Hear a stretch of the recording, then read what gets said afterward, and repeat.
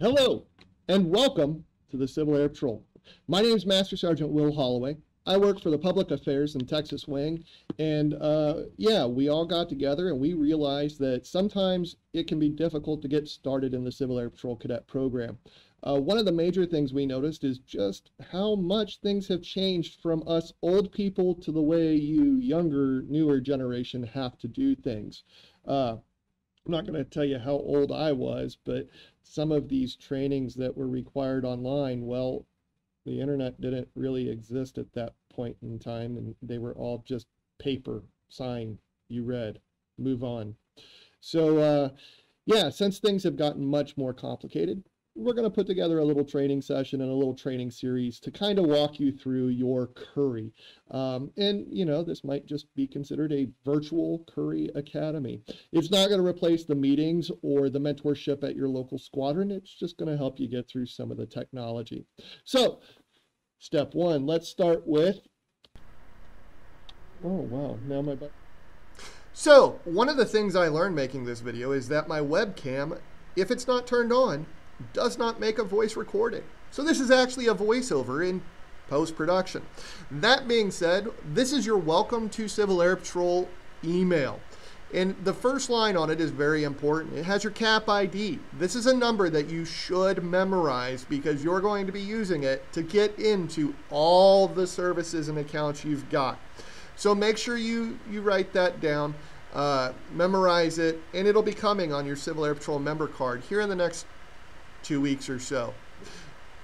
Um, also, and card should arrive here in about three to four weeks, along with a wonderful box full of goodies.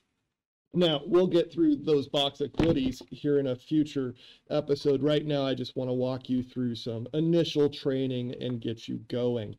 So, Step one, if you read on this email, is to establish your e-services account. This is a members only account that provides you access to all kinds of cool stuff online.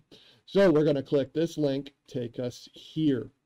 And you may be tempted to just throw your CAP ID in there. I've seen lots of frustrated cadets trying to just log in. What I need you to do is focus over here, first time users, and we're going to click here to register. Now, this information is very super simple. You're just going to enter the information that was used to sign in.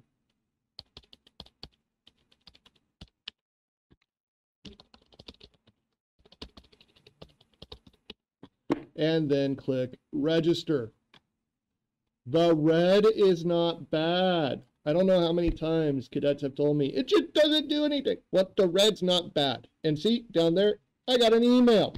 Okay, so you have successfully completed the registration process. Your CAP ID username and a link to update your password is emailed to the email address specified above. Thank you and enjoy using Civil Air Patrol e-services.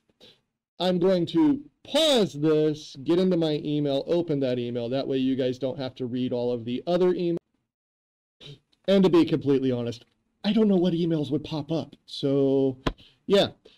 Anyway, congratulations. This is our email. So we have officially registered for e-services. So we're going to click the link and it'll pop up to create reset password. Now, our passwords have a lot of requirements and you'll see down here they are there. They must be a minimum of eight characters in length, contain at least one character from each of the three here, and a new password. Uh, new passwords must match. I'm going to take a little journey to this side of the screen because I want you to see what happens with these check marks, right? So I'm going to start to type in a password. Notice how those check marks are going off as I do what I'm supposed to do. Boom. Now my passwords must match. My passwords match. I need a security password. So I'm going to type this. And once again, oh wait, haha, I am now going to cover up my answer.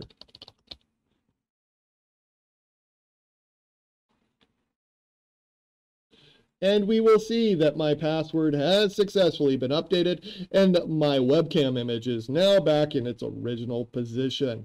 So we now have a new password. So I can click OK. And we can go back to eServices. Oh, look, notification. My password is reset. Oh, my internet is going so slow today.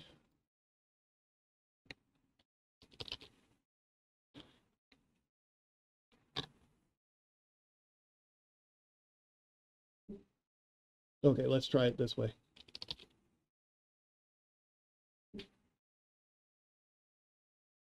There we go. Okay, so now I'm going to utilize my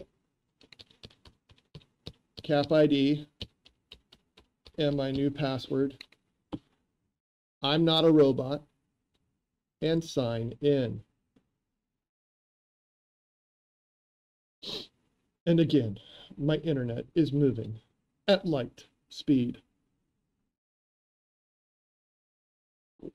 If any of you are curious, I live way out in West Texas, and so we have rural internet access, which means even our really, really good internet can have issues from time to time.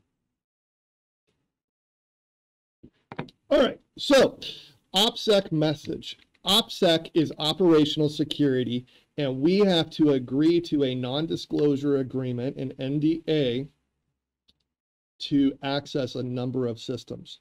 Um, we are the Air Force Auxiliary, so there's the potential that we could see stuff on. In addition, there is missions we do that we kind of just have to protect that information. Um, in disaster relief, and the more you move through this program, you'll understand why. And it's more about just protecting the people that we work with and we work for, um, because we don't always see people on their best day, and we kind of just want to make sure that we don't hurt any of them in any of those manners. So what we're going to do is click here to go to the AXIS training, and we're going to take the training. Um, terms and conditions, we must agree to this. This is the information overall for how to utilize AXIS, right? You have a tutorial here that will walk you through the menu system, enrolling, our transcripts, different badges you can earn, the main page, enrolling. Oh, wait, it's just repeating. Yep, okay. Don't worry about all of that because in a future video, I'll walk you through it. So we're going to click agree and continue. And now we are logged into our AXIS, our learning system, and we have one class right here, operational and cybersecurity level one. So I will click start. Introduction. As a Civil Air Patrol member, you will occasionally handle information that is sensitive to some degree. Perhaps it's personal records. Maybe it's a list of our radio frequencies. Could be information about one of our search and rescue missions. Whatever it is, it needs to be protected. So this module is going to walk you through all of it. And it takes about 20 minutes for you to do that.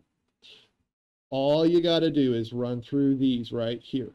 Okay, so OPSEC and cybersecurity lesson content click start. And now we're going to walk through each one of these. So OPSEC basics. You're going to scroll down and read all of the information here. And then you'll see lesson two pops up.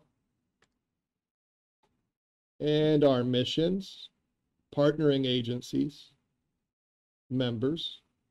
I'm not going to bore you because we or you need to go through and uh, read this information for yourself. Okay.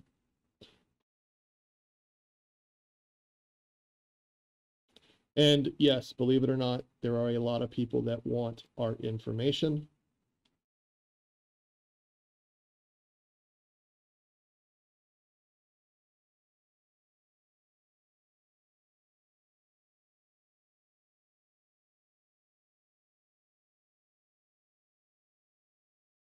And just so you're aware, I'm going through the majority of this just because I want the old guys to be able to see what's actually on it.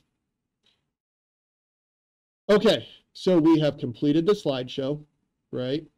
And we can see everything. What the main takeaway of all of this, though, is OPSEC is everybody's responsibility. Always err on the side of caution.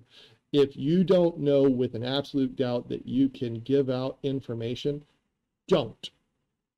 Go to your public information officer, go to your public affairs officer, go to your incident commander or your squadron commander. Those are the people that will be able to tell you what information you can give out or not give out to any public.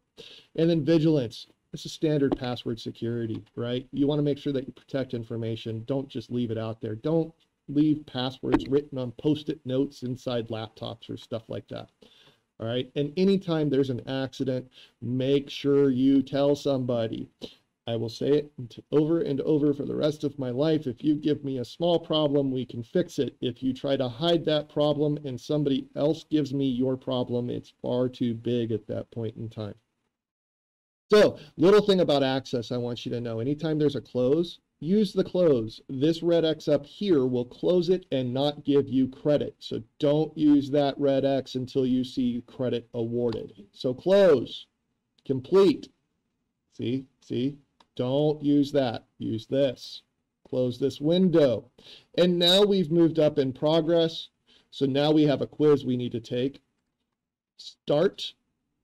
So true or false? Steps to OPSEC are similar to risk management. I'm not giving you the answers. I'll be back with you momentarily.